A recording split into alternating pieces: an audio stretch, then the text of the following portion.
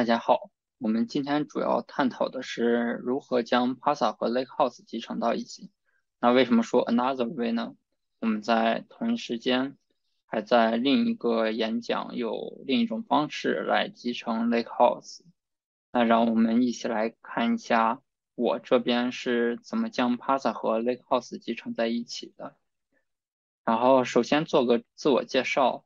呃，我叫张勇。现在就职于 Stream Native，然后是 Pasa 和 Bookkeeper 的 Committer，然后下面是我的 GitHub 和 Email，嗯，然后再介绍一下我们的公司 Stream Native 吧，呃，大部分开源软件的背后都有一家或者是多家的商业化公司在支持。呃，Stream Native 呢，就是 Pasa 背后的一家商业化公司。我们公司的创始人都是很早就在社区里进行贡献，然后他们作为 Pasa 和 Bookkeeper 最早的贡献者，他们贡献了许多非常棒的功能。呃，我们公司的一个愿景就是可以为大家提供一个开箱即用的商业化服务。呃，同时呢，我们也在和社区一起推动 Pasa 和 Bookkeeper 的发展，使 Pasa 和 Bookkeeper 可以更好的和各位的业务功能进行支持。除此之外呢，我们也在围绕着 Pasa 做一些生产级别的支持和培训。嗯，大家感兴趣的话，可以通过微信或者私聊我们公司来了解。关于这个我们公司提供的这些服务的事情，那么先来简单介绍一下 Parser。Parser 是一个分布式消息处理系统，然后它最大的特点就是存储和计算分离，然后这样就让它比呃变得比较容易扩容。它的存储是由开源项目 Bookkeeper 来提供的，提供服务的。然后 Parser 最早是在雅虎内部去创建出来的，然后在一六年。开源一八年正式从阿帕奇毕业，成为阿帕奇的顶级项目。我们来看一下 Pasa 的一些特性，比如有多租户统一的消息模型，更容易破缩容，然后它也提供这种地域复制以及 tiered storage。呃，像多租户这种的话，就是我们不再需要为不同的服务或者这种部门来搞多个集群。然后我们可以通轻松的通过这种多租户和命名空间来控制每个命名空间呀、租户呀，我们是用来做哪些服务，然后有哪些人员在上面操作的。然后这样的话就可以起到这个数据和人员的隔离的作用。然后由于 Pasa 它其呃它是存储存储计算分离的，Broker 没有状态，所以它也很很容易去扩容。然后 Bookie 作为存储呢。本身它它就是一个可以支持这种呃扩容的操作，它它也不需要复制数据，不像卡夫卡你需要进行 rebalance，所以说整个 Pasa 服务扩容起来是很容易的。同时像 Pasa 还支持这种 GEO replication 以及 tiered storage，呃 GEO replication 大部分都是在这种多数据中心的情况下，我们需要多个数据中心进行数据复制的这种场景。然后关于 tiered storage 的话，就是 Pasa 还支持这种二二二级存储。我们将热数据存到 Bookkeeper 上，然后像一些比较冷呃比较老的数据的话，我们可以通过 offload 将它们啊存储到这种比较便宜的云存储上，然后降降低了这种资源消耗。嗯，那那我们接下来简单介绍一下这个 Bookkeeper。嗯，bootpaper 呢是一个计算机中比较常见的场景的一个抽象，是我们通常说的这个 log。我们在文件系统里呢有 journal，然后在数据库系统里呢有这个 bin log，然后它们都是 log 的抽象，然后它们都是记录一些这种你的操作啊，还有这种呃其他的这些东西。然后在我们分布式的系统里面呢，还有一个是基于 log 的抽象，就是那个复制状态机。但是与 Bookkeeper 它它的诞生场景是和 Bookkeeper 不太一样的。然后 Bookkeeper 呢，它是为了解决 HDFS 这样的分布式文件系统里做 name node 的一个复制状态机，就是说，呃，我要做 name node 这一层的多个节点的数据同步。所以说呢，这个通过这个场景，你可以发现。Name node 是保存这个 HDFS 的 metadata，然后 Bookkeeper 有点像是保存这个 metadata 的呃 metadata，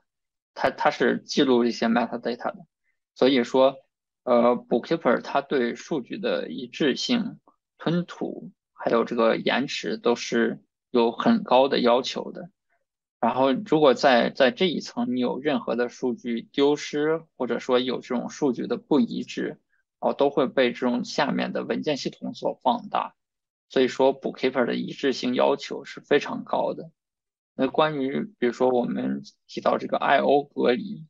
，Bookkeeper 内部做了这个磁盘级别的呃隔离，它它不会因为你读这种很多的 backlog，然后就对线上的业务造成影响。同时呢，它也不会说因为线上业务太大。造成这个读历史消息的影响很大，嗯，所以说呢，Bookkeeper 不仅为了 MQ 这种场景提供了企业级的读写服务质量和严格的一致性保障，同时也为这种 Streaming 的场景提高了极高的带宽。呃，Pasa 的整体架构主要就分为三大块。Broker、Bookie 和 Zookeeper，呃，我们刚才提到 Pasa 它是存储计算分离的，Broker 呢主要是负责 Pasa 的一些功能性任务，比如说呃消息的发送接收，然后 Topic 的这种负载均衡，然后这些消息的缓存，然后还有像我们刚才提到的这种呃地域复制的话，它也是在 Broker 进行处理的，然后 Bookie 呢它只是一个存储服务。然后，broker 和 bookie 这种所有的呃 manage ledger 啊，还有这种呃 topic 信息啊，然后还有像这种 subscription 的信息啊，这些元数据它都会存储到 Zookeeper 上。然后，呃，可能有的人就会说这个对 Zookeeper 依赖比较大。然后在现在呢，Pasa 其实已经完成了对元数据这一层的抽象，然后我们可以轻松的把这个 Zookeeper 拿掉。在将来呢，我们也可以这个把 Zookeeper 彻底拿掉，可能是让 Pasa 实现这种自举的行为。同时呢，Pasa 也有很丰富的客户端，像 Go 啊、Java、Python、C 加加，我们都是支持的。然后同时呢，它 Pasa 也可以通过这种 Pasa I/O 来与其他系统进行这种集成。呃，就像我们使用 Presto 去进行。啊，作为 Pasa 的一个查询引擎，然后来从 Pasa 中查询已经呃 publish 的消息这样的。然后同时呢，我们也兼顾了这种 batch process，像 Flink connector、Spark connector，可以直接与 Pasa 进行这种对接。然后同时呢，我们也可以使用这种 Pasa function 来进行一些呃定制化操作，比如说你想 filter 一些数据，或者是你想在一些数据上加一些什么东西。再转发到另一个 topic，我们这些都可以通过 Pasa function 来完成。然后呢，我们也支持这种呃，像刚才说的，我们支持 tiered storage，所以我们很好的与这种 HDFS，然后 cloud storage 也可以很好的集成起来。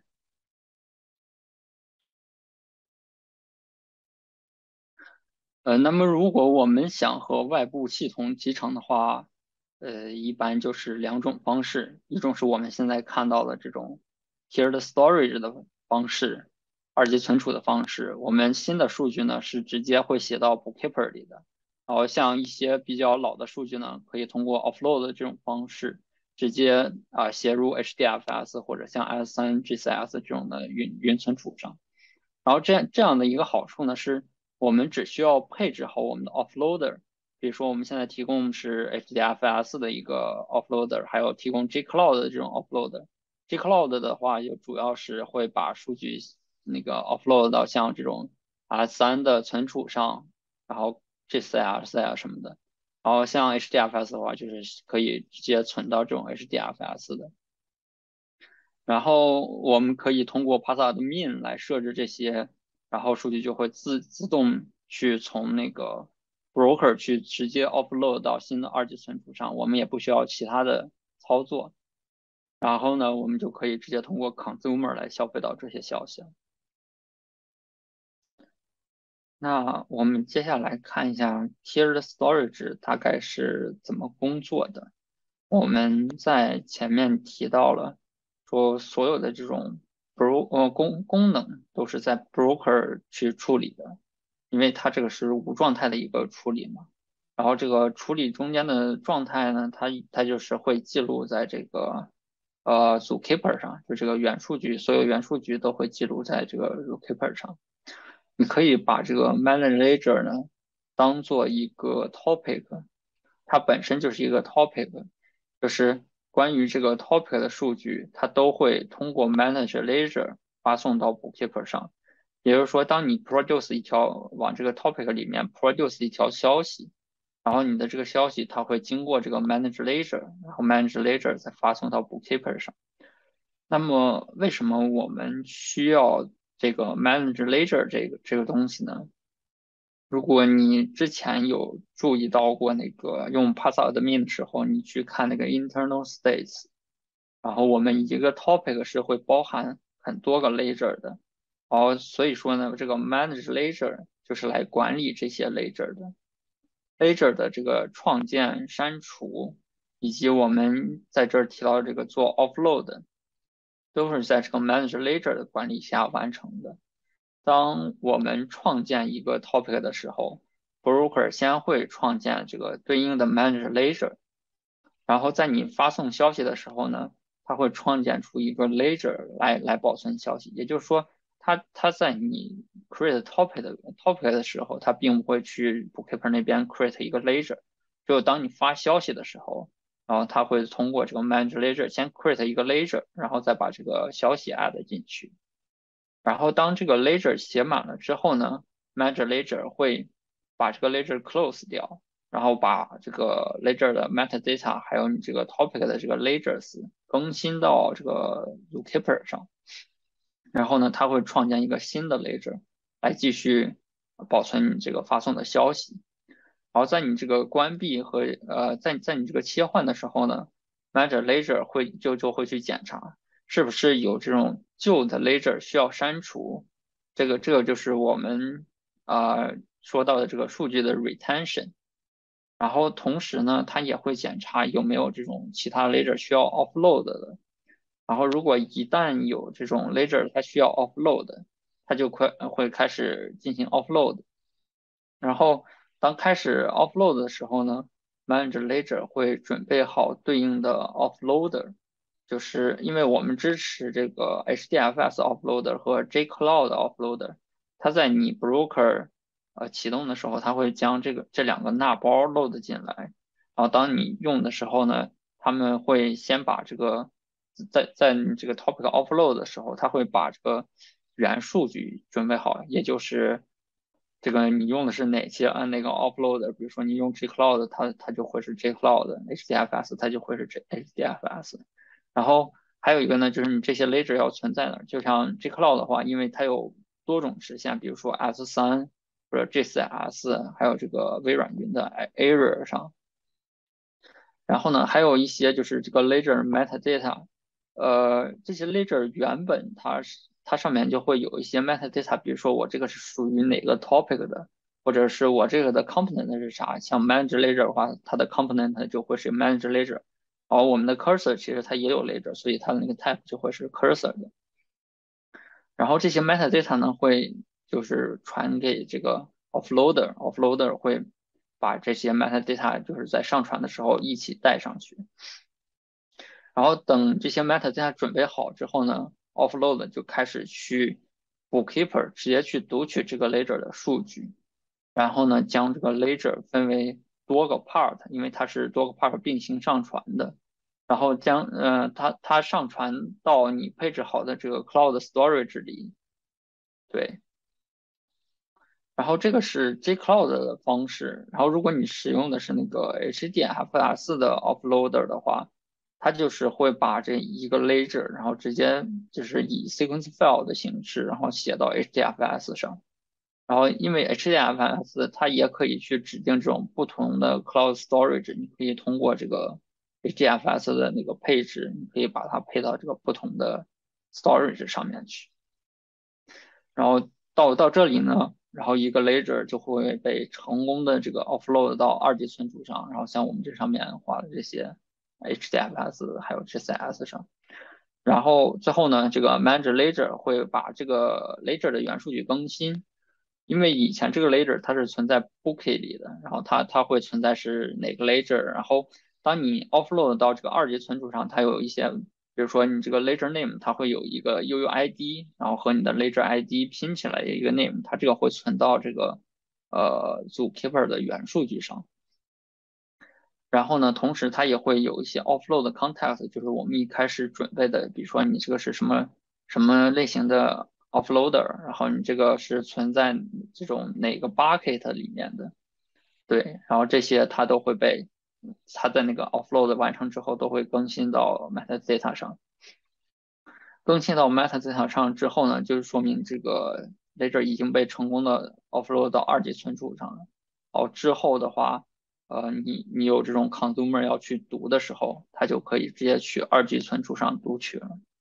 然后在 offload 成功之后呢，bookkeeper 上的那个数据，它会和这个 offload 的数据，它会同时保留一段时间。然后在一段时间之后呢，它 bookkeeper 上的这个 ledger 就会被删除，然后这个 ledger 之后就只只会从这个二级存储上去读取了。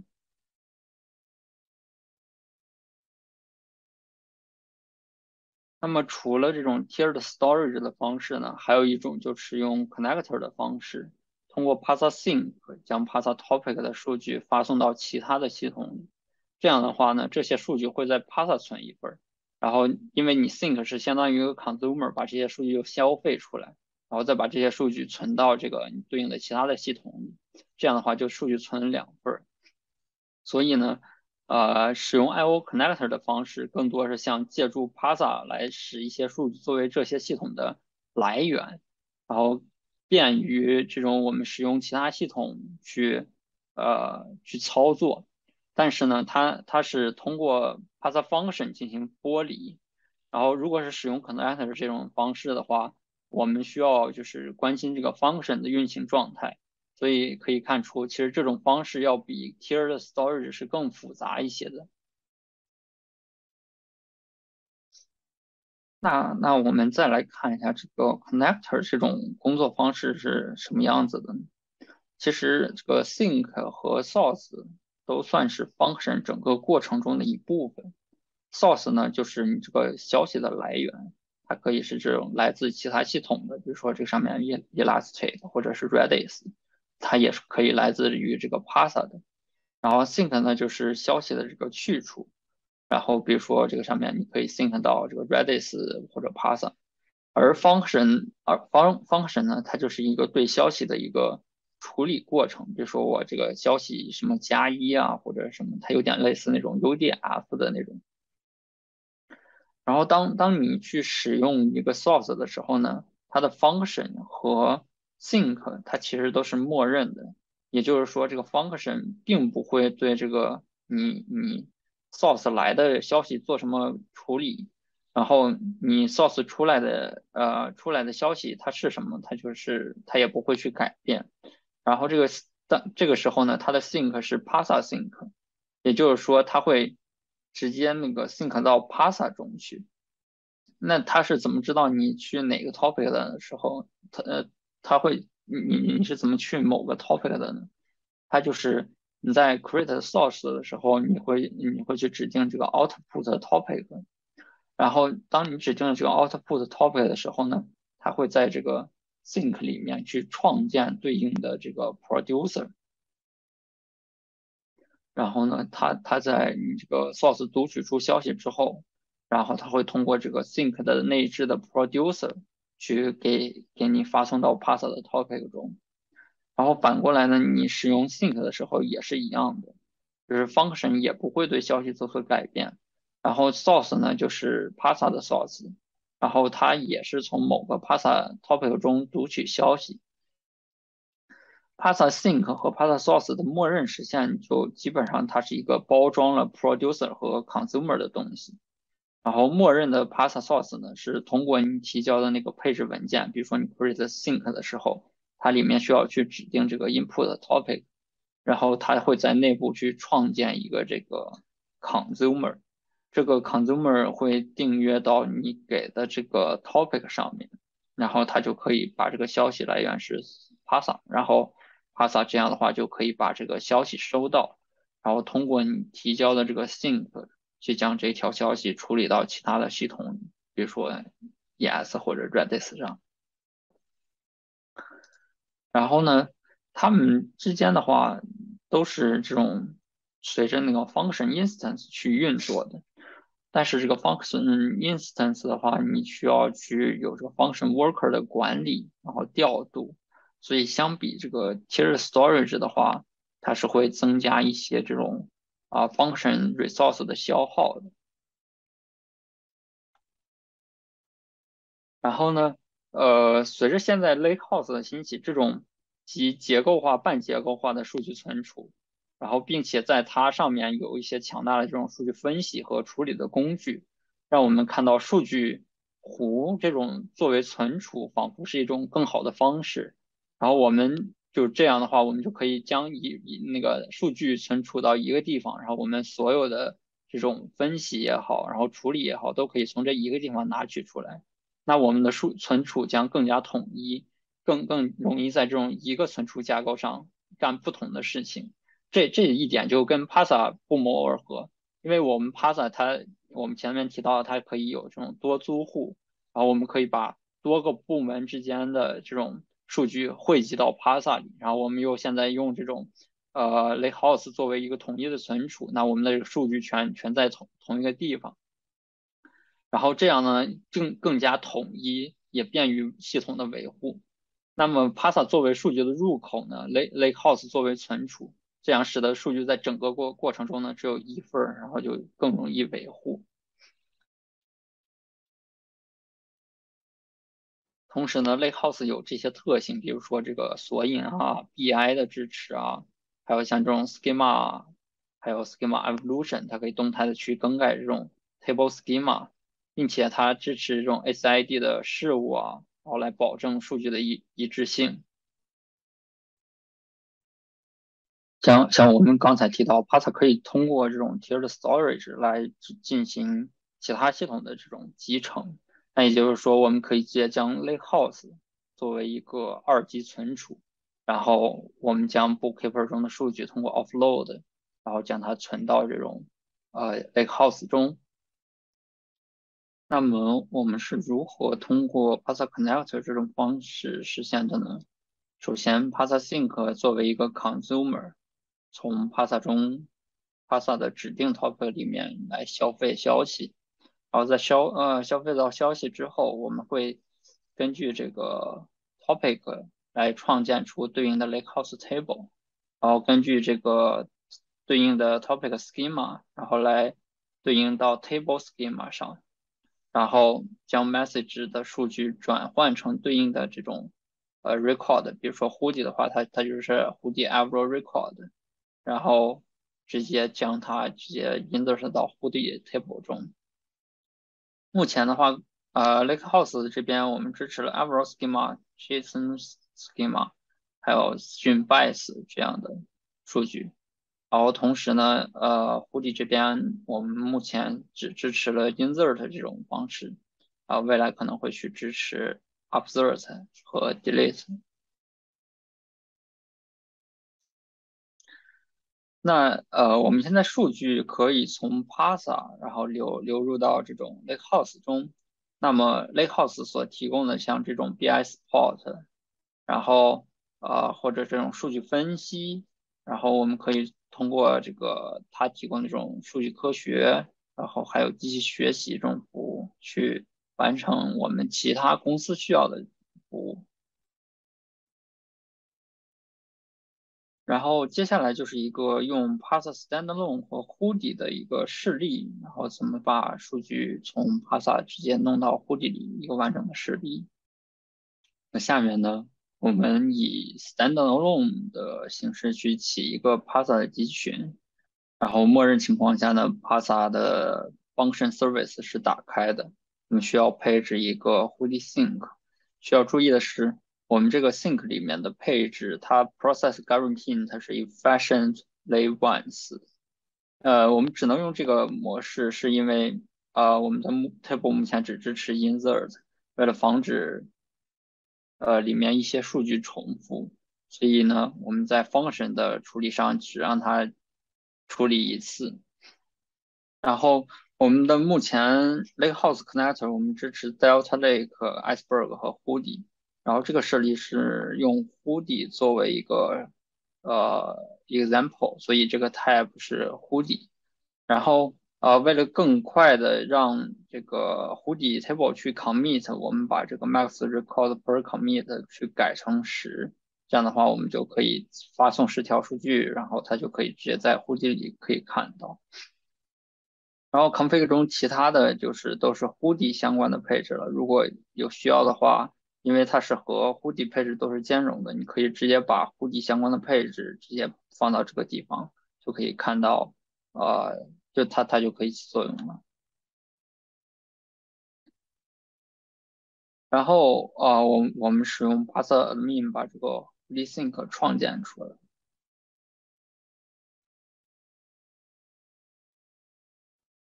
哦，你看啊，Sync 已经创建好了。然后我们用这个 status 去看一下它的状态，然后它会显示这个 number running 是一，那就说明这个 Hoodie Sync 已经成功的起起来了。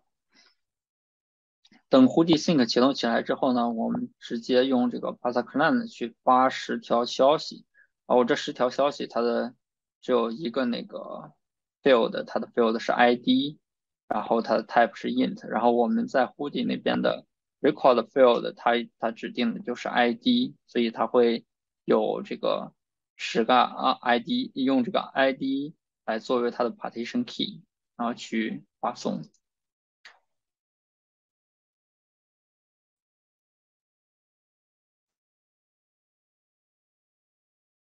好，那等等这十条消息发送完成之后呢，我们直接用 PySpark 去。按照那个胡迪官方的那个流程，我可以通过这个 PySpark 去直接查到这个我们存在这个 Base Path 下的这个 table，然后我们可以直接用呃直接把所有的 ID 查询出来。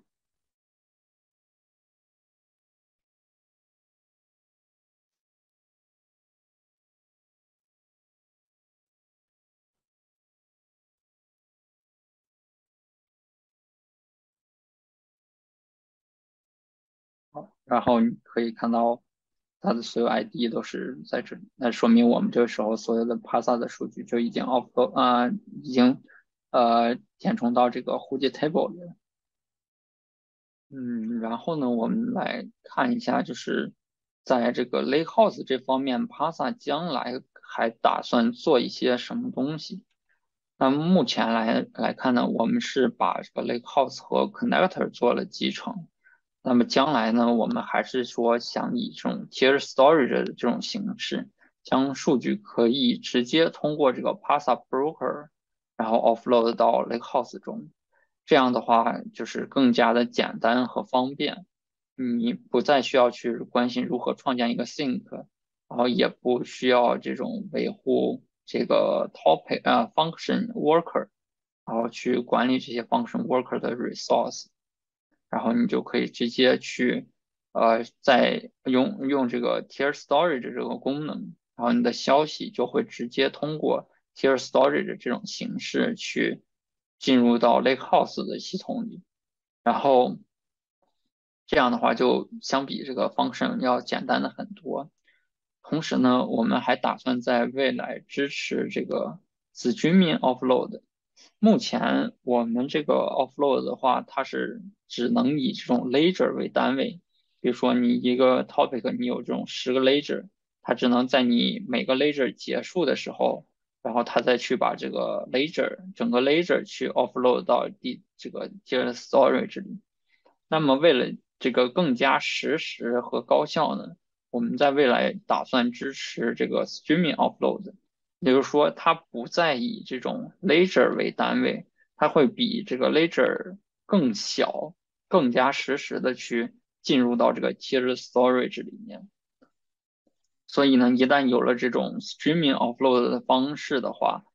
我们的这个数据会更快的去流入到这种 tier 的 storage，像我们这个 lakehouse 的话，就会更快的流入到 lakehouse 里面，就会可以打造一个更加实时、更加高效的这种批流融合的一个中台。如果你想要呃。了解更多的话，可以关注我们微信公众号或者扫这个机器人回复 Lakehouse，它就会把你拉到相关的群里。你也可以直接去看一下这个 Lakehouse 的 repo，它里面有更详细的这个介绍。啊，今天的我的演讲就这些，谢谢大家。